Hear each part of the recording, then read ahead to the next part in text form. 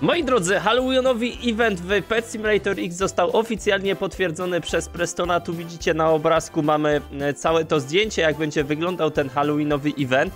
Mamy wejście do e, tego domku tutaj. Mamy potwierdzone też, że będą cukierki, ale kiedy będzie? Kiedy będzie ten update? Jak sam Preston powiedział, za kilka dni, czyli to nie będzie weekend, a obstawiam, że w przyszłym tygodniu e, będziemy mieli ten update, więc jest naprawdę spoko, popatrzcie. E, Halloween event is returning in few days. Kilka dni, kilka dni, czyli na pewno nie za tydzień, tylko nie wiem, za dwa, trzy dni.